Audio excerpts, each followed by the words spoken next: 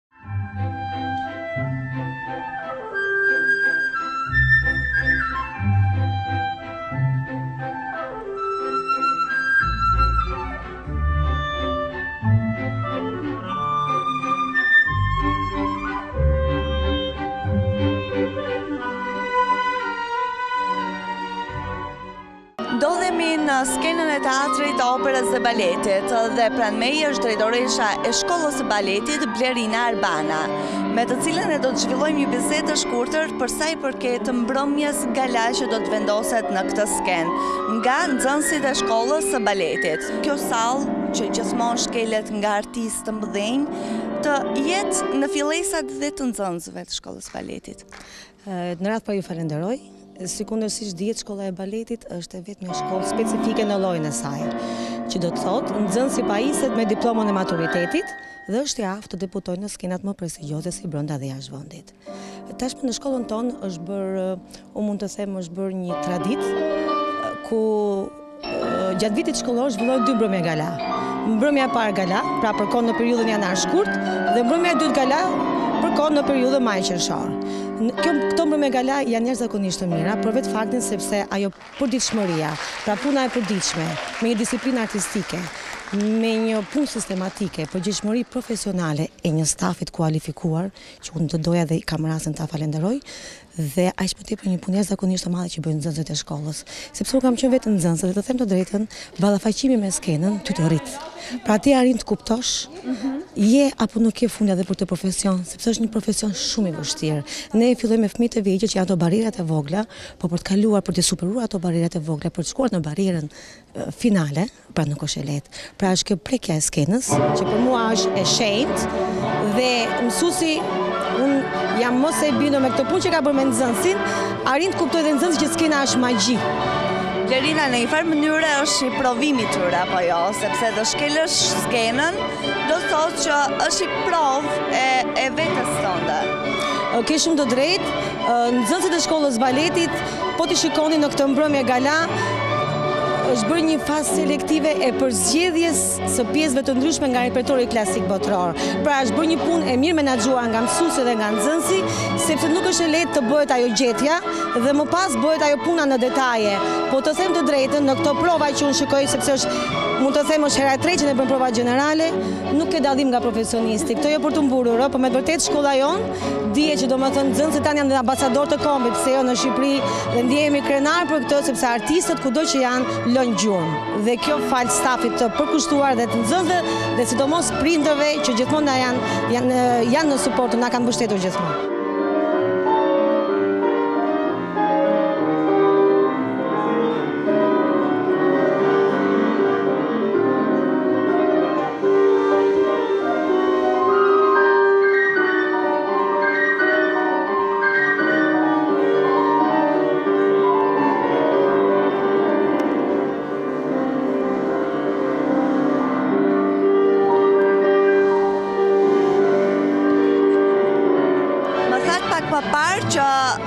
Është një gjithëpërfshirje të gjithë nxënësve që marrin pjesë dhe shkelin këtë skenë.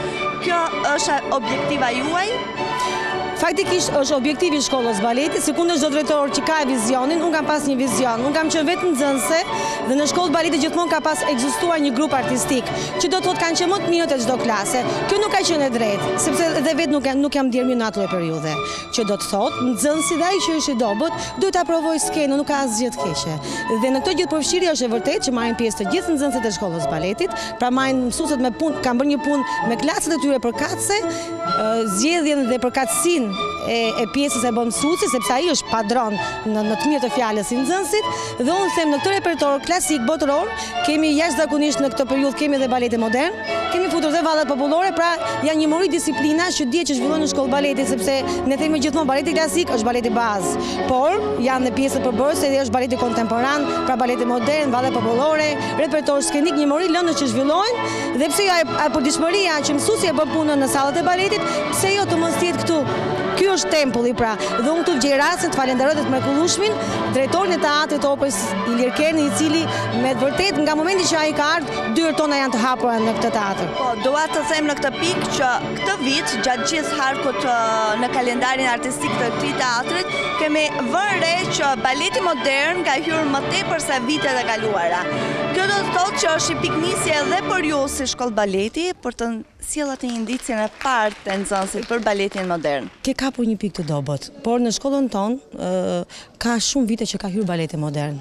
Dhe kjo ka ndikuar pozitivisht, po t'i shohësh dhe dhe nxënësit, sepse dihet nxënësit e shkollës baletit ata shkojnë në teatrin e operës, në televizione të ndryshme, pra në çdo vend është shkolla e baletit. Unë madje këtu gjej dhe rastin, sepse baleti modern që është lëvruar në shkollën tonë, ka ka një rritje cilësore dhe po të shikoni dhe numrat janë shumë të goditur, por me këtë rast shkolla e baletit ka një ka një terminologji shkollë koreografike. Dhe ne jemi në këtë rast po, po ju domethënë po gjej rastin dhe pse jo të mos shpreh dhe një pikë të dobët që kemi, shkolla jonë detyrimisht dhe shumë shpejt do të ndryshojë emrin nga shkollë koreografike në akademi baleti, sikundër janë dhe shkollat homologe në botë. Pra Akademia e Baletit të La Skalës, Akademia e Baletit të Romës, Pse jo dhe mos jemi ne Akademia e Baletit e Teatrit të mrekullueshëm të Operës dhe Baletit. Unë ju falenderoj për gjithë punën që ju bëni dhe ju uroj ju suksese, qoftë në menaxhimin e një shkolle baleti që nuk është e lehtë, por edhe në emocionet që ju i përcillni këtyre nxënësve.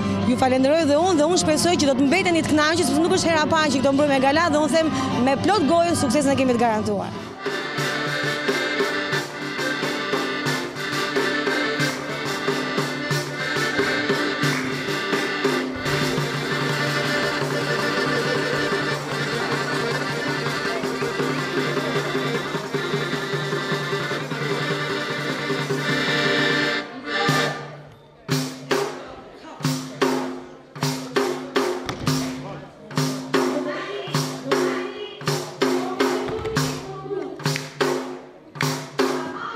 Miqtë e mi, këtu jam me Xhensilën, e cila është nxënëse në klasë të tetë të shkollës së baletit. Xhensila, si të duket, fakti që vjen dhe performon në skenën e teatrit të këtij institucioni kaq të rëndësishëm në profesionin tënd?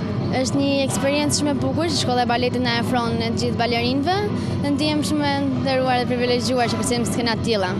Ke veshur kostum popullor dhe besoj se performanca jote do jetë uh, për një koreografi popullore. Po, ne unë kam veshur uh, kostumin e Malësisë së Madhe dhe ne do performojmë vallen e Tropojës.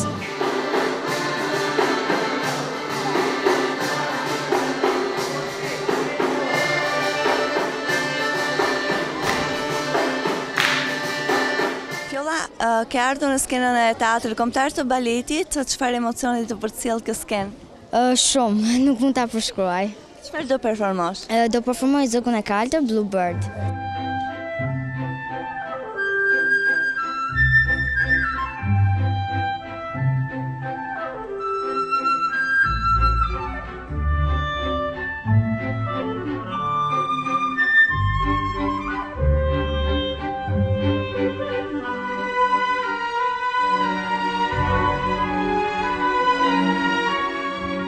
Përshëndetje, unë jam Valbona.